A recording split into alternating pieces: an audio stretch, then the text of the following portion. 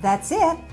Be sure to subscribe to learn about life in Huatulco and to learn about retiring in Mexico also because we do share 25 years experience with you.